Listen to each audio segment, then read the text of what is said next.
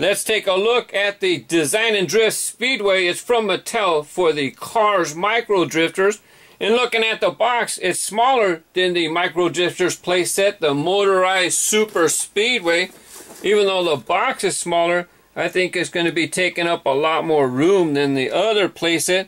You see that fellow right there playing with it. Looks like it's going to spread out. It's going to take up quite a bit of my room on the table.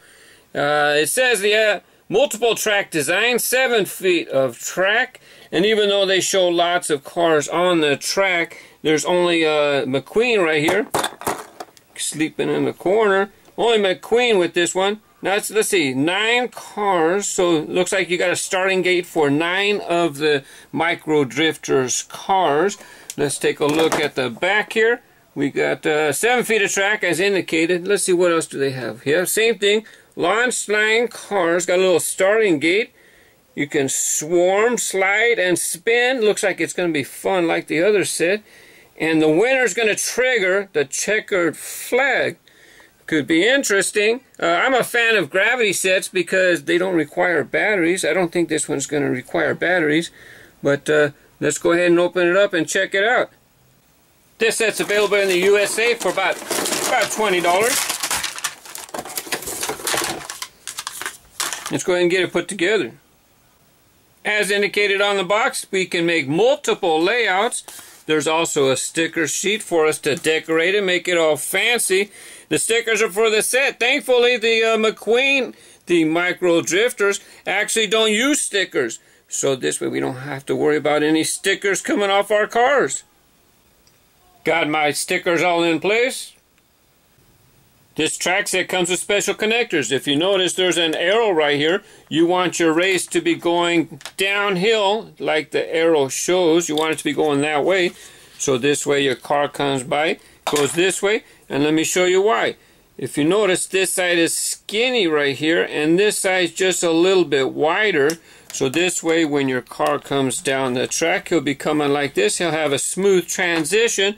If you use it backwards like this, there's going to be a lip.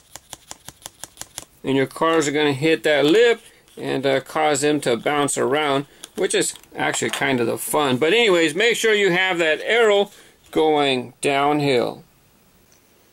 Amanda's going to help me out with the starting gate. Look at her panda. He's sad he wishes he was colorful. He's just black and white. She's going to help me put the cars on the track. She's also going to show the camera right here the uh, the track comes with a little attachment and it's for the side of the track. See the camera? You can pretend like you're filming the race. The reason for this thing to attach to the track is because when your cars go into the curves here the cars that are on the outside lane are going to get a nice smooth curve well the ones that are going to be coming down this lane are going to come there boom straight into a flat wall. And so uh, I think that's why they use this to bump the cars off of here and try to get them over in this so this way they come around into a spin and then blah, blah, blah, blah, they'll just be crashing down the track. Let me show you the finish line real quick. You got a flag, it's got a trigger switch. We're going to put the switch over here and the first car that comes right here gets to uh, make this come across. So the winner should come here Everybody else comes here around the outside and they'll all line up over here. Amanda suggested we start with only three cars. Sound like a good idea? Here we go.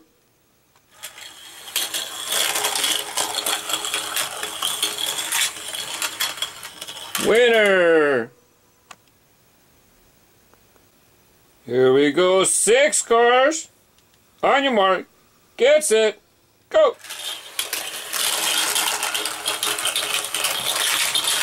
Jeff Gorvette takes the checker flag.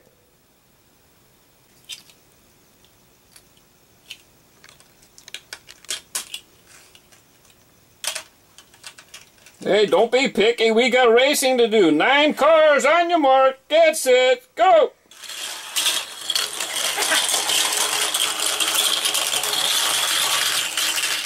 Uh, Dad forgot to switch the gate. I'm sure you guys already noticed that there's two of these uh, camera stands for the track. You can put them wherever you want. Here we go. Nine cars, on your mark, get set, go!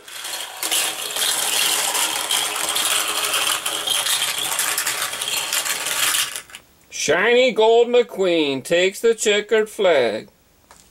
Set, go!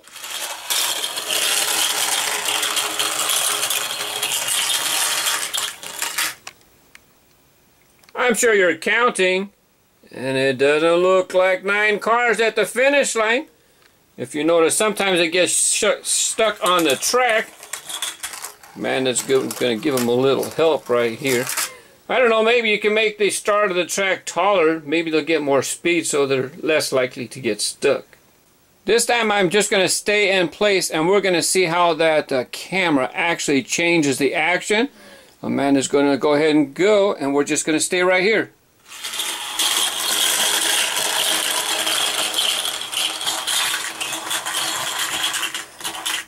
If you notice, they all went around the outside lane there, so that bumper works pretty good. Let's go ahead and take the bumper off and see what happens. Okay, let's remove it from the track, and then we're going to send the nine cars straight down, and let's see how the cars do on the inside lane.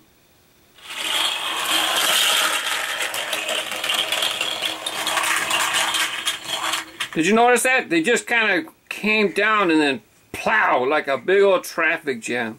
Uh, let's see, let's do that again. So Amanda, I'll be doing slow-mo, but uh, from your perspective, what did you think happened with that race? I think they all end up stopping right here, and then going. But right here, they just stop, and That's, then they go. Is that what it looked like to you? Oh, yeah.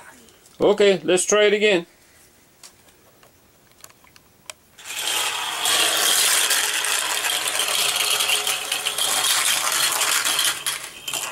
It was kind of like a big old thunk. Let's get that diverter back on.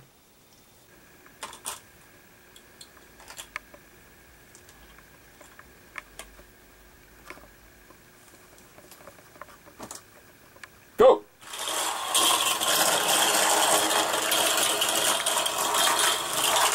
Big difference, eh? And someone has a problem forgetting to put this thing on every time. Yes. Mater wins. Yes, someone, not me. Okay, me. This will be our last test with this layout with nine cars. What we decided to do is put the camera down here and see how much that changes the action. It's nice that you can move them around and just decide where you want to put them.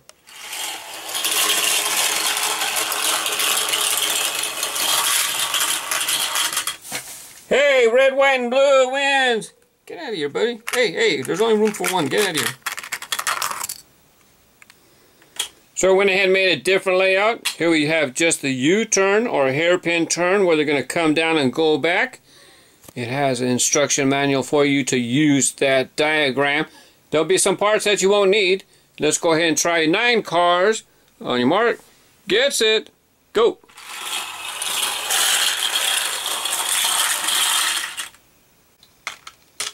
We're going to give them the squeeze. I got one camera to show them coming, one camera to watch them going.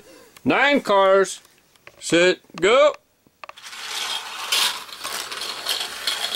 Well, maybe too much of a squeeze. Let's adjust that a little bit.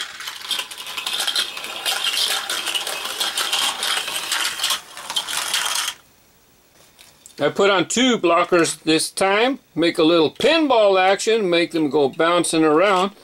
When Amanda's ready, she'll go.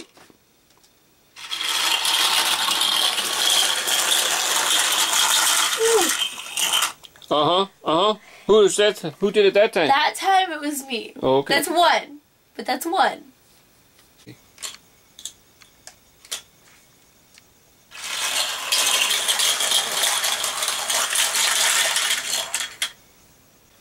One thing you're going to notice with the set is it is kind of uh, wibbly wobbly. It just wiggle it around a little bit. You have to get it set up just right. Let's go ahead. Nine cars.